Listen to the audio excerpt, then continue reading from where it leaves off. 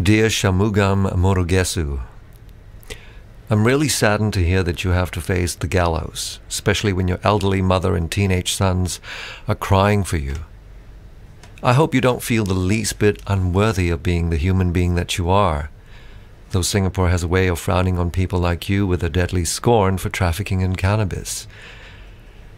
But seriously, you are but a victim of your time, and dare I say, place. Because if you were born, say, British, that sort of substance doesn't even warrant capital punishment anymore over there these days. Well, look at the humanitarian commotion you have caused. Two organizations here in the Republic named Think Center and Focus have organized an appeal for clemency from the President on your behalf already.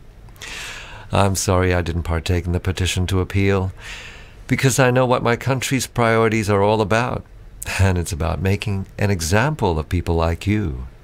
It's the grand old Singapore thing, I'm afraid. If we give way to you, others will most certainly take advantage. Utmost kiasuism, fully justified for absolute control and nation building purposes. Kiasuism, by the way, for those who don't know, is the self serving neurosis of losing out to others. I don't know where such shameless authoritarian mentality can still thrive in a civilized first world country. So maybe Singapore ain't quite so first world in your eyes, Sean. Well, that's all right. I sure hope you will be reborn in a truer one, where there's at least a true religion, a true sense of culture, history, equality, and joy, rather than one sacrificing everything for power, money, and a statistic.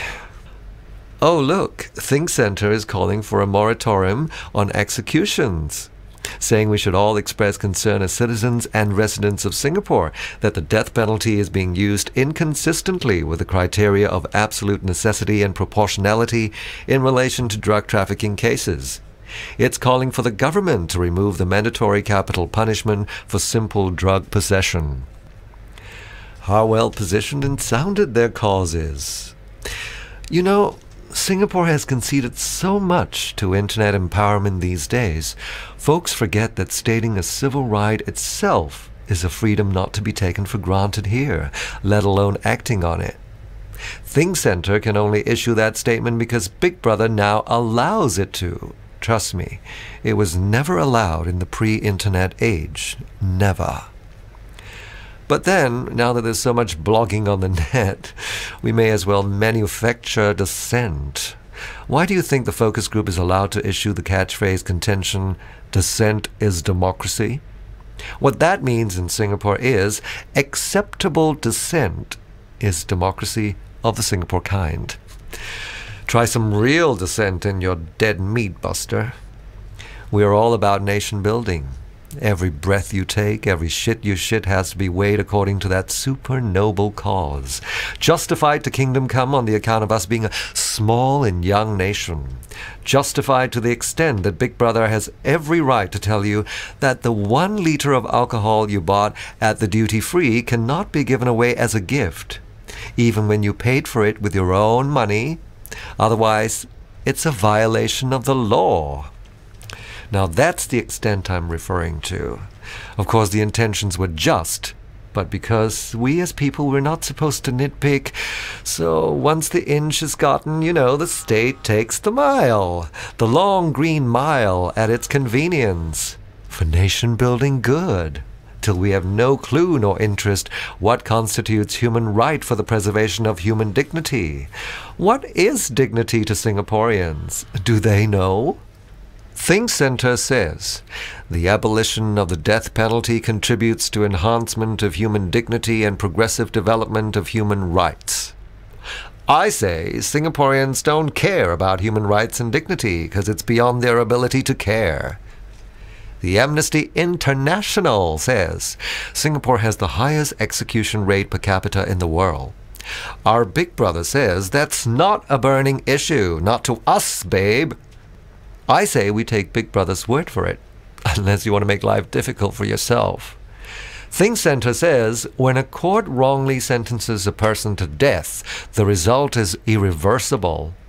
I say the court here is never wrong. I have implicit faith. I gotta. I'm Singaporean by birth. You forget there's no free speech in Singapore. So therefore, I gotta, I gotta, I gotta. Shanmugam, you will face the news and you will know fear. So understand how we view life here even without being in your shoes. Therefore, excuse me when I say, I gotta, I gotta, I gotta, I gotta go. Oh, by the way, the Focus folks reminded us that anyone who wants to read a poem for the occasion of the Virgil organized for you on the eve of your execution, the full text of the poem has to be submitted to the police for licensing purposes, just as the ID numbers of all attending have to be submitted as well. Still, they'll tell you, we're a free and open country. And you'll be surprised, Sean, to know that the planned venue for the Virgil has already been turned down by the licensing department, and it's an independent art venue, not like it's the Parliament building or something. Ah, but what do you know? The old Parliament building is now the new Arts House, so we can never explain enough without looking like we're all nitpicking. So why do I want to look so silly doing all this? Yes, so, yes, dissent is democracy, but please understand the qualified dissent for your own good, folks. I trust we will all meet again on Judgment Day.